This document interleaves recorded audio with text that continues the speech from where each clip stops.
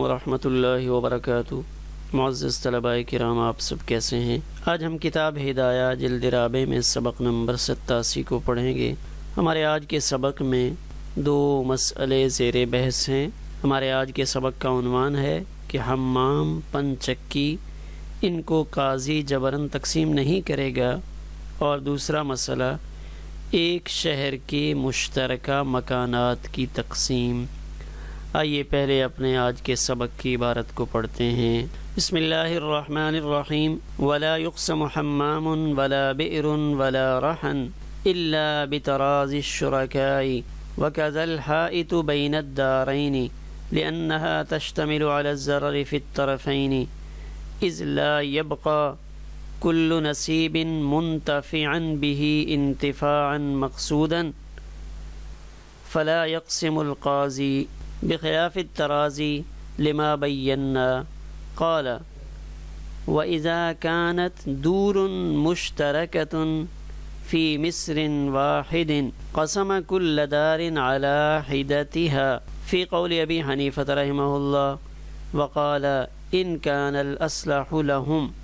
किस्मत बाज़हा फ़ी बाज़िन कसमहा वाला हदल खिलाफ़ी अलक़रतुलमतफ़रक़तुलमुश्तरकत आइए अब हम अपने सबक की इबारत का तर्जमा करते हैं। वला यकसम, और तकसीम नहीं किया जाएगा हमाम गसल खाने को, वला बिर और ना कुएँ को, वला रहन, और ना ही पनचक्की को, इल्ला बतराज शुरा मगर ये कि शुरका इस तकसीम पर राज़ी हों। वकज़ल हाइतु वो दीवार भी तकसीम नहीं की जाएगी, जो दो घरों के दरमियान में हो। लन्ना तश्तमिल ज़र फ़ितरफ़ैन इसलिए कि ये तकसीम दोनों फरीक़ों के नुकसान को शामिल है। इसलिए कि हर एक के हिस्से से कोई फ़ायदा नहीं उठा सकेगा। ऐसा फ़ायदा जो मकसूद हो। फ़ला यकसमकाज़ी इसलिए काजी यहाँ जबरन तकसीम नहीं करेगा। बखिलाफ़ रजामंदी के, लिमा बवजह उस दलील के जिसको हमने पहले बयान कर दिया। कौला वैज़ा कानत दूर मुश्तरकतन, अगर एक ही शहर में कई घर मुश्तरक हों तो उनमें से हर एक घर को अलग अलग तकसीम किया जाएगा। फ़ी कौली अबी हनीफ़ता, इमाम अबू हनीफ़ा रहमहुल्लाह के कौल में।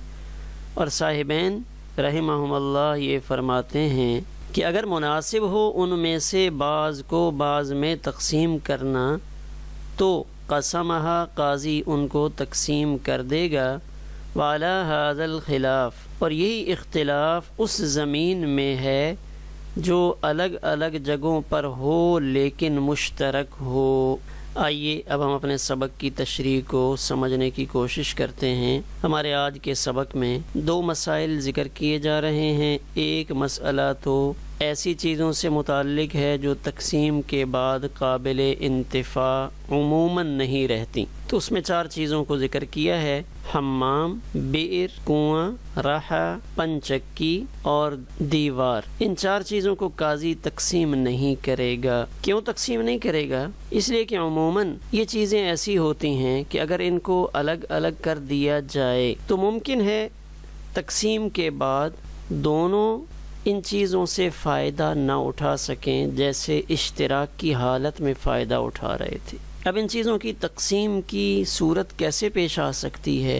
मसलन, अहमद और हमाद के वालिद अब्दुल्ला का इंतकाल हुआ तो उनकी मिल्कियत में एक हमाम था, या एक कुआँ था, या एक पंचक्की थी, या एक दीवार थी, कोई भी चीज़ हम ले सकते हैं। तो अब हमाम से मुराद क्या है? ये देखें, ये हमाम है। जैसे आजकल हमें बाल काटने वालों के पास छोटे छोटे गुसल खाने बने हुए नज़र आते हैं, ऐसा नहीं है, बल्कि पहले दौर में ये इस तरह के हमाम बने होते थे, यानी ऐसी जगह जहाँ गर्म पानी दस्तियाब होता था, और ये जो एक ऊँची जगह बनी हुई हैं, इनके ऊपर बैठ जाते थे और साथ में गर्म पानी दस्याब होता था, और वो पानी बहता हुआ नीचे चला जाता था। यानी घरों में नहाने की सहूलत कम हुआ करती थी। तो आम तौर पे लोग उन हमामों के अंदर नहाते थे। तो ऐसे हमाम अब भी कुछ अरब मुल्कों में या तुर्की में पाए जाते हैं, हमारे यहाँ पाक हिंद में ऐसे हमाम अब नहीं रहे। तो हमाम तो हमारे यहाँ ऐसे हमाम नहीं पाए जाते।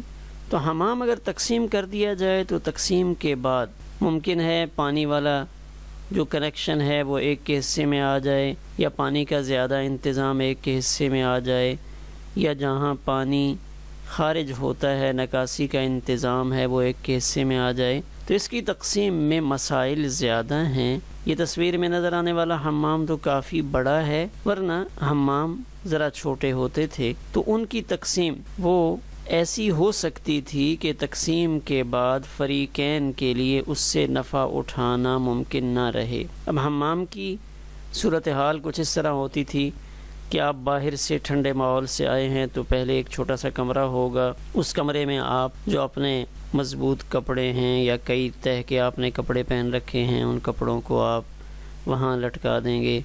फिर आगे एक और छोटा कमरा होगा, जिसमें आप तेल वगैरह लगा सकेंगे। और आगे तीसरा और चौथा कमरा, यानी step by step Aahista Aahista वो आपको उस गर्म माहौल में ले जाते थे। तो इस किस्म के हमाम की तकसीम, वो भी फुकाहा के मुताबिक इस तरफ़ ले जाती है कि शायद आप उससे तकसीम के बाद नफ़ा ना उठा सकें। इसलिए उसकी तकसीम से मना किया।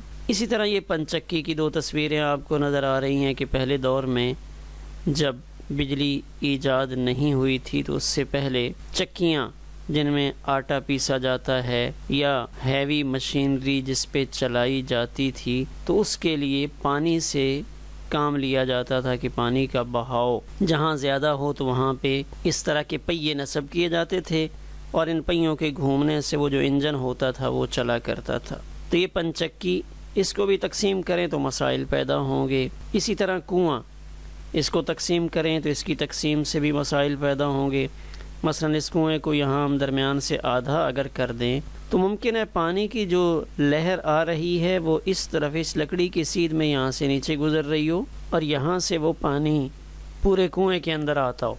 या दो लहरें हों, इस तरफ़ वाली में पानी ज़्यादा आता है, इस तरफ़ वाली में कम आता है, कि कुओं के अंदर भी नीचे नालियाँ चल रही होती हैं। तो तकसीम कर देंगे, हो सकता है एक के हिस्से में पानी आए और एक के हिस्से में पानी ना आए। तो इस किस्म की सूरत हाल को मद्देनज़र रखते हुए फ़ुकाहाए किराम ने यह फरमाया कि ये चीज़ें अगर तकसीम के बाद काबिल इस्तेफादा नहीं रहती तो फिर उनको तकसीम नहीं करना चाहिए। लेकिन अगर ये बड़ी बड़ी हों और तकसीम के बाद भी काबिल इंतफ़ा रहें तो फिर इनकी तकसीम में भी कोई हरज नहीं है। यानी ये उसूल जो फ़ुकाहा ने मुस्तमत फरमाया, ये उस सूरत हाल में है कि जब ये चीज़ें तकसीम के बाद काबिल इंतफ़ा न रहें। तो अगर काबिल इंतफ़ा नहीं रहती तो फिर तकसीम ना किया जाए। लेकिन अगर ये चीज़ें तकसीम के बाद भी वैसे ही काबिल इंतफ़ा हैं, जैसे तकसीम से पहले हैं तो फिर बज़ाहिर तकसीम करने में कोई हरज मालूम नहीं होता।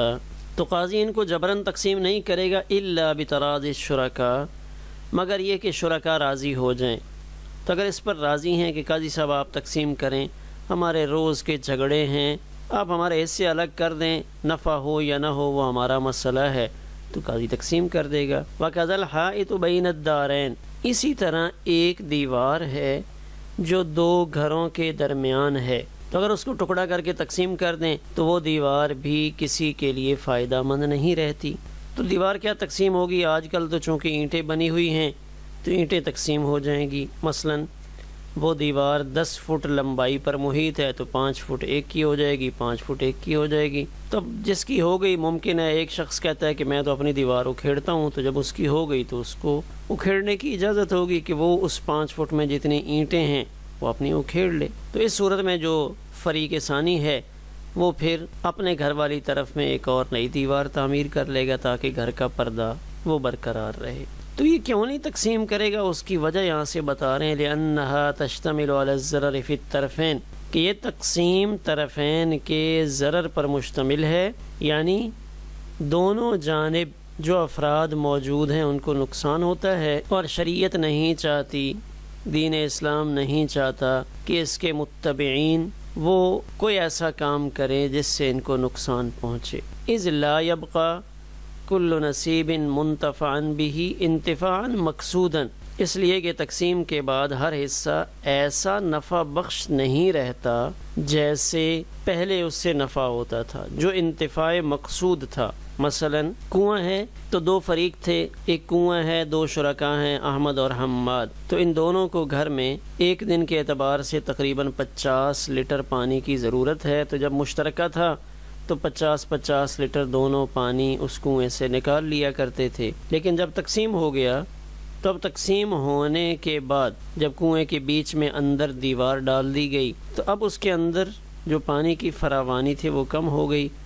मुमकिन है एक को तो बहुत ज़्यादा मिलना शुरू हो जाए, एक के हिस्से में, उस टाइम में 80 लीटर पानी जमा हो जाए और दूसरे के हिस्से में सिर्फ़ 20 लीटर पानी, सिर्फ़ 20 लीटर पानी इकट्ठा हो।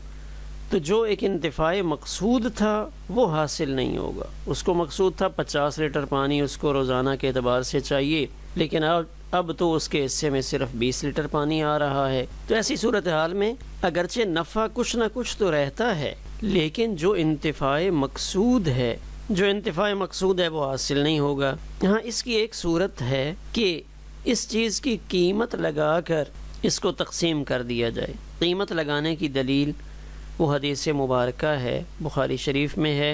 हज़रत अब्दुल्ला उमर रज़ी अल्लाह तुमा की रिवायत है कि रसूलुल्लाह सल्लल्लाहु अलैहि वसल्लम ने फरमाया कि जिसने शिरकत वाले ग़ुलाम में से एक हिस्सा आज़ाद कर दिया और उस शख्स के पास माल है तो अब ग़ुलाम की कीमत लगाई जाएगी। तो अब उसमें से आधी कीमत तो इसकी तरफ़ से आज़ाद समझी जाएगी। और उससे आधी कीमत लेकर जो उसके और शुरा हैं, चाहे एक हो, चाहे दो हों तो उनको दे दी जाएगी। मसलन एक ग़ुलाम था, उस ग़ुलाम की मालियत है पचास हज़ार रुपया।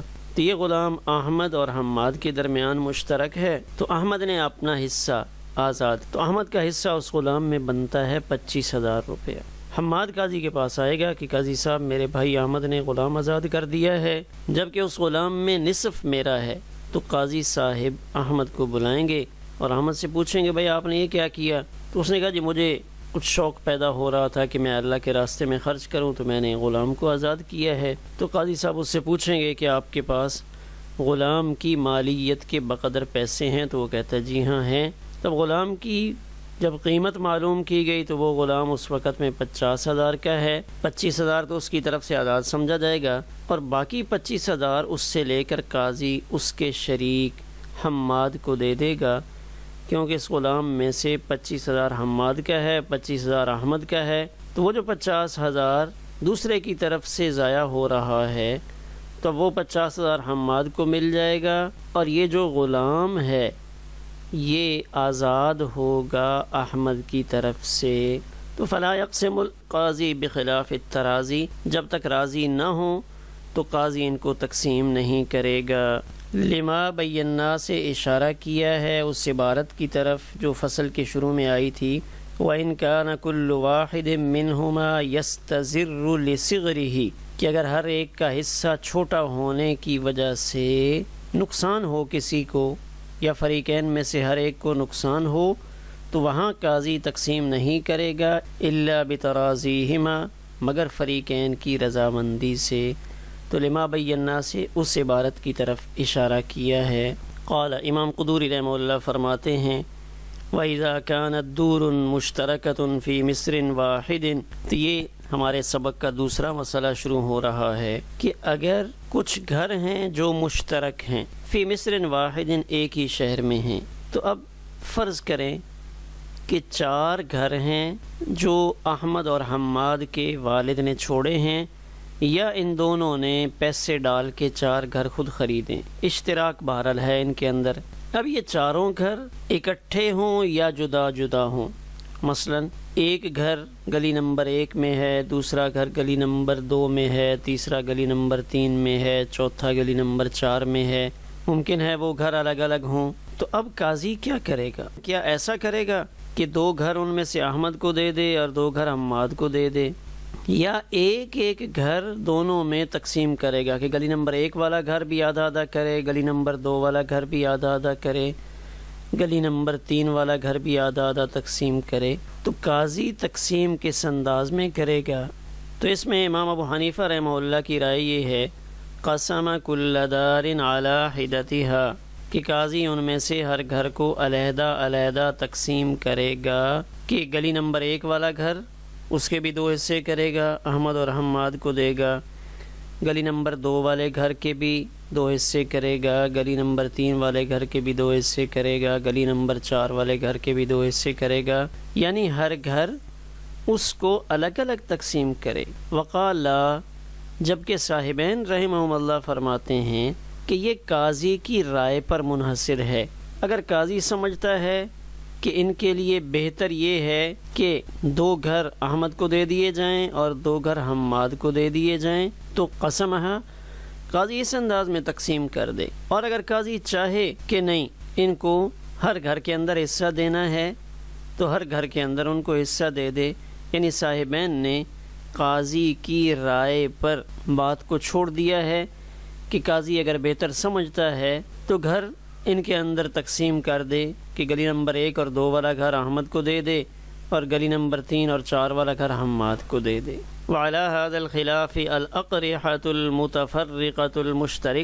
जैसा इख्तलाफ घरों के अंदर है तो ऐसा ही इख्तलाफ ज़मीन के टुकड़ों के अंदर होगा, ज़मीन के अंदर भी होगा, जो अलग अलग हो और मुश्तरक हो।